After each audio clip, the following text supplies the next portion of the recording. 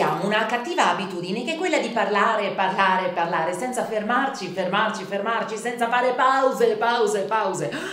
Da oggi voglio che tu butti fuori dalla finestra questa cattivissima abitudine. Perché? Perché quando facciamo una pausa possiamo respirare.